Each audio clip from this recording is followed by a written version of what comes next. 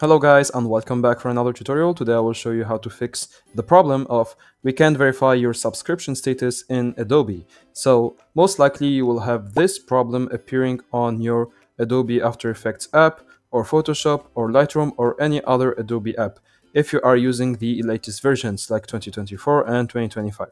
Now my first advice to you is don't use these newer versions. You can stick to the 2020 and 2021 versions.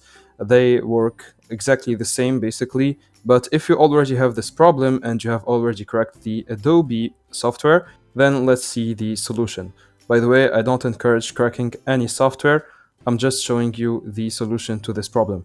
Now first open the crack file.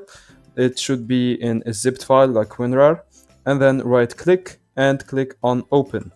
Now once you are here you will find this file, double click it and you will find all these little files. So the uh, SweetPea support, the DV app support, the After Effects lib.dll, etc. So these are all the files that we need. Of course, don't uh, select the readme text, just select all the other files. Now once you have done that, right click and copy them all. Now search for your desired app, let's say for example Adobe After Effects, and then right click on it and click on open file location. Now once you are on the file location, just right click on your app and then click on open file location again. And once you are here, just right click and paste your files that you have copied in the past.